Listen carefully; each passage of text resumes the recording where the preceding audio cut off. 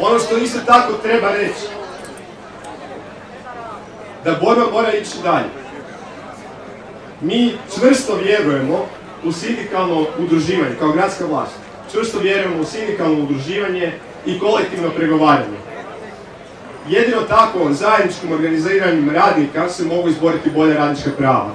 Bolji uvjeti rada i to u konačnici doprinosi boljem društvu i kvalitetnijem životu za sve. Tako da na današnji dan želimo jasno poručiti da potpuno podržavamo sindikalno udruživanje i kolektivno pregovaranje koje evo neki ovih dana dovode u pitanje.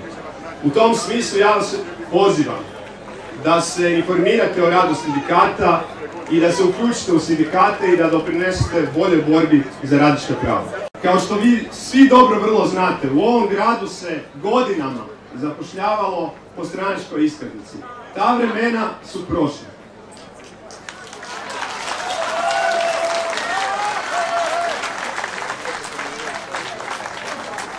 I sve ovo, kažem, što zapošljavamo, zapošljavamo na javnim natječajima jer doista vjerujemo da ćemo tako dobiti najkvalitetnije radnike i radnice i da svi moraju imati jednake šanse za dobiti posao u ovom gradu. I svojim primjerom vjerujemo da ćemo doprinijeti da se to dogodi na razini cijele Hrvatske.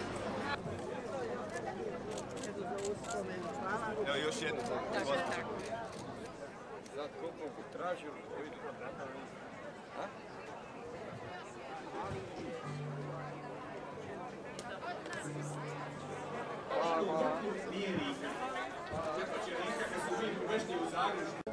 Uživajte!